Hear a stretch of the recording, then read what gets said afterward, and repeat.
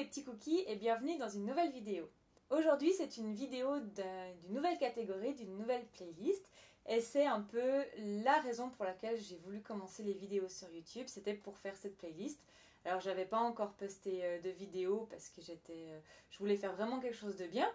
Mais là, je me suis décidée et j'ai enfin passé le cap et je suis trop contente de vous présenter cette nouvelle catégorie. Donc cette nouvelle catégorie regroupe mes deux passions, donc Disney d'un côté et la pâtisserie cuisine de l'autre côté, mis ensemble. Donc pour commencer euh, cette catégorie, j'ai choisi euh, un Disney emblématique parce qu'il s'agit du premier euh, long métrage de Walt Disney, Blanche-Neige.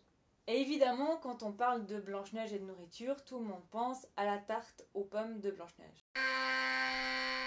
Non, non, non, non, non. Stop.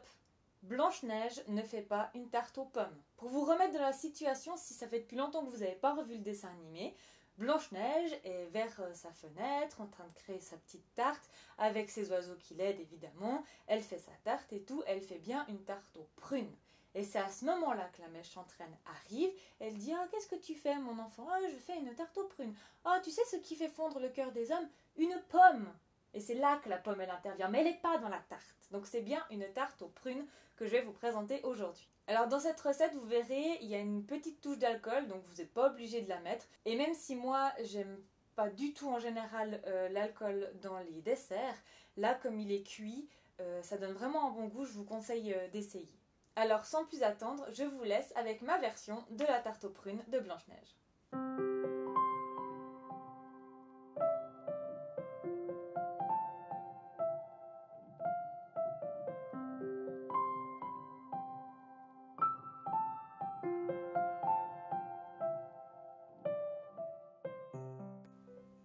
La préparation de la pâte brisée, on commence par mettre la farine et y faire un petit puits pour mettre le beurre à l'intérieur.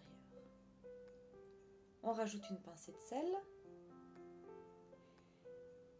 et délicatement du bout des doigts on mélange le beurre et la farine jusqu'à l'obtention d'une pâte.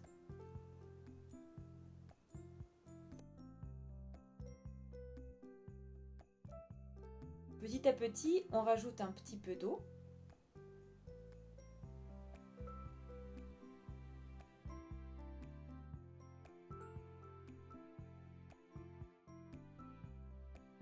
Et une fois que tout est bien aggloméré, la pâte est prête.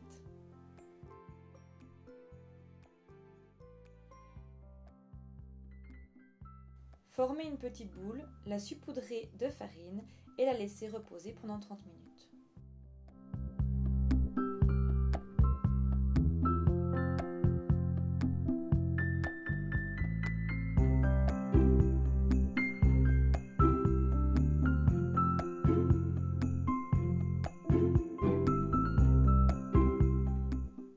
Préparation des prunes, on commence par faire une petite incision en croix sur les prunes.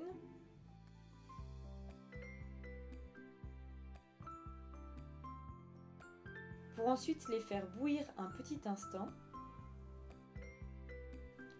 les retirer et les plonger directement dans l'eau glacée.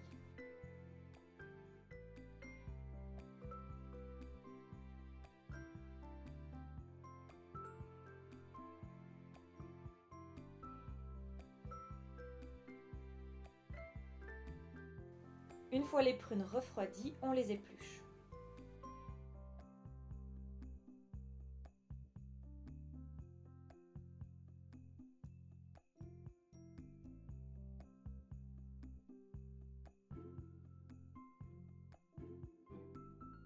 Quand les prunes sont toutes épluchées, on les coupe en deux pour retirer les noyaux et ensuite on les coupe en petits morceaux.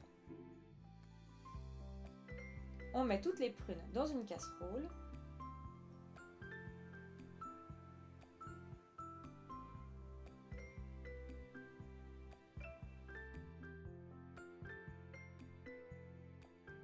Et on ajoute aux prunes le sucre, le cognac et le demi-verre d'eau. On mélange bien.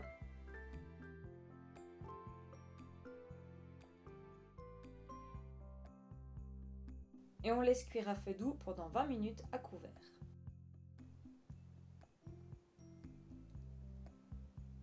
Une fois que les prunes sont cuites, retirez du feu.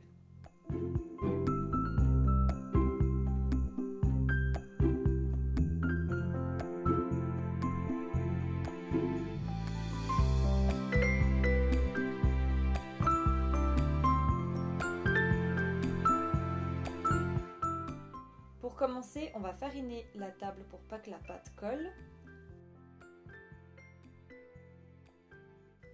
On va prendre la moitié de notre pâte et l'étaler.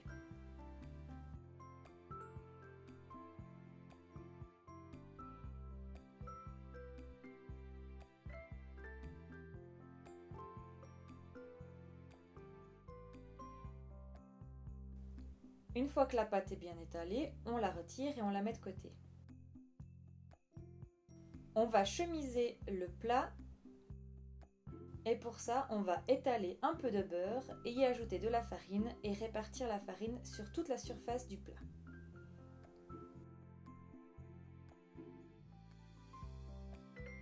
On ajoute la pâte dans le plat en faisant bien attention que tous les bords soient bien formés au plat. Puis on fait des petits trous sur le fond avec une fourchette. On répartit un peu de poudre d'amande sur le fond de notre pâte, puis on ajoute les prunes un tout petit peu égouttées. On étale bien et on réserve. On va ensuite préparer la deuxième portion de pâte que nous avions mise de côté. On met de la farine sur le plan et on étale.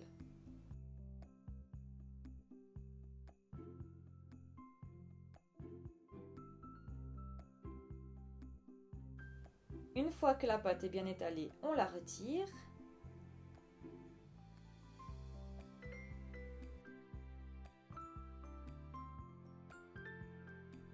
Pour ensuite la rajouter sur notre plat. On coupe le surplus et on fait bien attention de faire une belle soudure entre les deux pâtes. Et pour faire l'effet comme Blanche-Neige, avec une fourchette, on fait des petits dessins sur le bord de notre pâte pour imiter les pattes des petits oiseaux. On fait des petites incisions dans la pâte pour laisser la vapeur s'échapper. Et comme Blanche-Neige, on finit par une petite décoration sur le dessus avec le reste de pâte.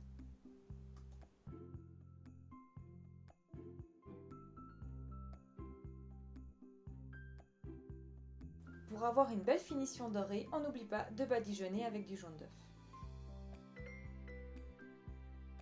Et ensuite au four pendant 30 minutes à 180 degrés. Bon appétit alors voilà les petits cookies, j'espère que cette vidéo vous a plu. En tout cas moi j'ai adoré la tourner et je me réjouis déjà de tourner les prochaines vidéos de cette catégorie. D'ailleurs si vous avez euh, des dessins animés ou des, vraiment des recettes spécifiques d'un dessin animé que vous aimeriez que je traite, c'est volontiers. Ma liste est déjà faite, il n'y a pas de souci, j'ai déjà plein d'idées. Par contre si vous en avez une que vous aimeriez... Euh, avant les autres, euh, qui vous plairait plus, bah, n'hésitez pas à me le dire en commentaire et je ferai le nécessaire. Et si vous voulez voir toujours un peu plus de gourmandise et de magie Disney, n'hésitez pas à me rejoindre sur mon compte Instagram, je vous laisse juste ici euh, le nom. Je vous remercie d'avoir regardé cette vidéo, j'espère vraiment qu'elle vous a plu. Moi en tout cas, euh, j'ai vraiment eu du plaisir euh, à la tourner et surtout à la manger après. Et en attendant la prochaine vidéo, n'oubliez pas de toujours rester des petits gourmands. Bye